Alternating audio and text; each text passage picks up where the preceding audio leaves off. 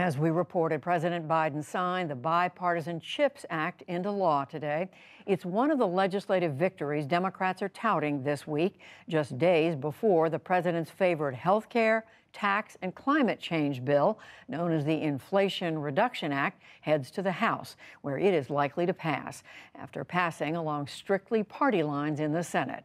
Senate Majority Leader Chuck Schumer, a Democrat from New York, played a key role in getting the bill through that chamber, and I spoke with him earlier today. Leader Schumer, thank you very much for joining us. And before I ask you about the Inflation Reduction Act, I do want to ask you about this unprecedented raid by the FBI on former President Trump's home in Palm Beach. Were you or any other senior congressional leader briefed about this? And if not, shouldn't you have been? Well, we were not briefed, and I don't know enough detail to make any determination there whether we should have or we shouldn't have been. Um, and so I'm not going to comment on this until more information comes out. All I know is what all of us have read in the news media. Well, let me just at least ask you two questions. One is about former President Trump's reaction. He's saying this is a sign of corruption in the Biden administration. He said it's a sign that the uh, justice system has been weaponized in this country. Has it been weaponized? I'm not commenting till we get more information, Judy. All right. And then one other question. I understand what you're saying. We have the House Republican leader, Kevin McCarthy, telling uh, the Attorney General, Merrick Garland, that once the Republicans take over the House, they're going to be investigating him. We have Republican National Committee Chair Ronna McDaniel saying to Americans, send us money so we can elect more Republicans this fall. Is this going to be a problem for Democrats in the midterms? Look, I think uh, commenting on this is premature for me or for anybody else. All right, we're going to turn to the Inflation Reduction Act. Uh, Senator Schumer, I think many people are looking at this and they see a lot of numbers. They want to understand what does it mean for ordinary Americans? What would you say to them? Well, it's probably the most significant and sweeping legislation for ordinary Americans in decades. It's going to mean a lot of different things. Uh, it's going to mean people's costs are going to be reduced. There, we've been waiting for years to allow Medicare to negotiate with the drug companies to lower costs, and that's going to happen, and people's costs will be much, much lower. Insulin for people on Medicare will only be $35 a month as opposed to the six, seven, eight hundred dollars it is now. Many more people will be able to get health insurance through ACA, and their costs will not go up. So on the health care front, and one other thing, um, if you, no one will pay more than $2,000 a year for prescription drugs. So if you're one of those people who has these very needed but expensive medications that cost $500 a dose, you're going to be in much better shape. On the climate front, it is the most dramatic change in climate uh, fighting global warming we've ever had, but it's going to mean lower costs for people. The average person's electric bill will go down close to $1,000 by 2030. People will pay less for appliances. They'll be far more efficient and less expensive. And it will mean that we will close tax loopholes on the very wealthy who have gotten away with this for a very, very long time. To boot, we create about 9 million new jobs in the clean energy industry, and those will often go to people of color, poorer people who haven't been able to get these jobs in the past. So this is going to mean a lot of things for a lot of people, and the fact, finally, that global warming will finally get a handle on it is going to mean that people will be more protected from the floods and hurricanes and fires and everything else that's been happening because of global warming. One aspect of this is drug prices. Those lower prices, caps on, on drugs that uh, people now count on, uh, those don't go into effect until 2025. That's two and a half years from now. The government negotiating with the pharmaceutical industry over prices doesn't take effect until 2025. Right. But the two, two other things take effect far more quickly. The $35 cap on insulin takes effect right in 2023, as does the $2,000 limit on what anybody will pay for drugs. So it's going to have a lot of effects immediately, and in the longer run, even greater effects still. And once the pharmaceutical industry knows that they're going to have to negotiate, they may adjust accordingly ahead of time as well. I want to ask you about one of the tax provisions, uh, Leader Schumer. We know that uh, Arizona Senator Kyrsten Sinema insisted that this provision that would have meant higher taxes on hedge fund and private equity managers uh, be taken out. How does the Democratic Party say we are the party of working class, middle class Americans?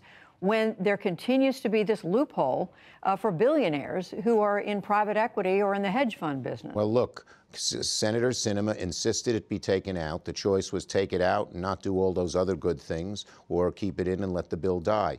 But we substituted something that might be just as strong, if not better. We're putting a 1% tax on stock buybacks. These stock buybacks also help the corporate billionaires and the big, big hedge fund holders and things like that because and they do no benefit for people. They just make the stock price go up by having fewer shares.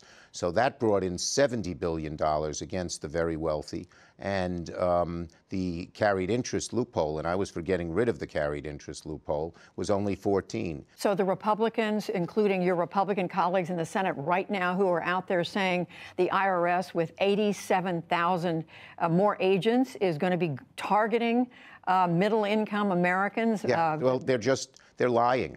And you know, this is typical of Republicans. They just defend the very rich and then say they're defending the middle class. When they did the Trump tax cuts, they said they were for the middle class, but people learned the vast majority of them went to the rich. This is what Republicans want to do, and we've reversed it. And that's going to be welcome by 90% of Americans.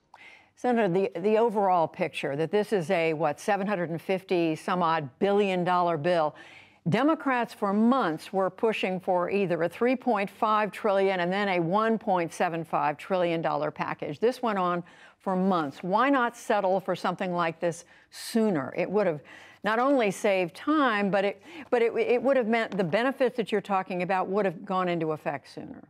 Well, no one was ready to do it sooner. Uh, the bottom line is that we wanted to get as good a package as we could.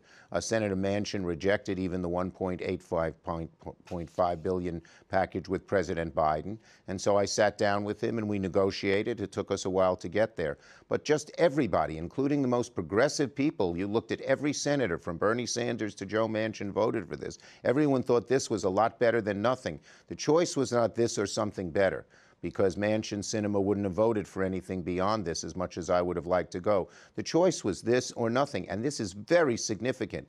The most significant reduction in carbon into the atmosphere ever by legions more than we have ever done.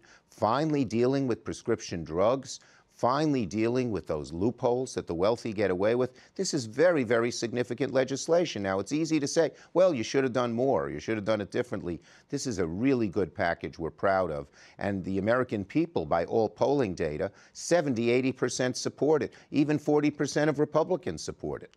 Two other things, Senator Schumer. Would has there been a lesson in all of this for you and other yes. Democrats in dealing, frankly, with Senator Manchin and Senator Sinema when you're looking at other priorities for the Democrats? Well, I'll tell you the overall lesson that I have.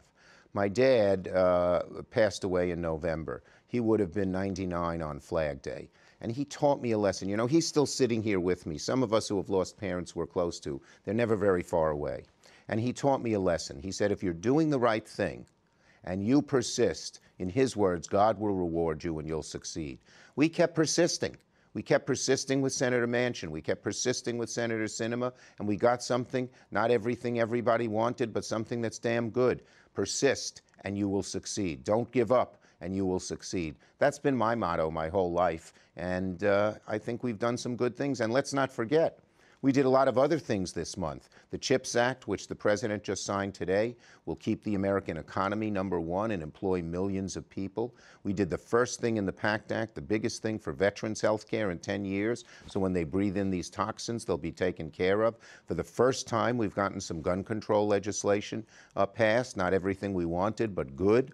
And finally, we did a treaty where we let the two, you know, Finland and Sweden into NATO. This is all in six weeks. It's an amazing accomplishment. Easy to pick holes in it, but boy, oh boy, it's a lot more than any Congress has done in a long time. So finally, Senator, let me ask you if that's going to make a difference this fall, because as you know, respected yes. analysts are saying that the Republicans are likely to take control of the House, and they may very well take over control of the Senate. Nathan Gonzalez, uh, who is one of those respected analysts, is saying the Republicans likely to pick up one to three seats in the Senate. Well, some of the other analysts, 538, another respected one, just said we're going to pick up seats in the Senate. I believe we will pick up seats for two reasons. First, the Republican Party has moved so far to the right, and people are seeing it after the court decisions in Dobbs on abortion and the other court decisions on guns and environment.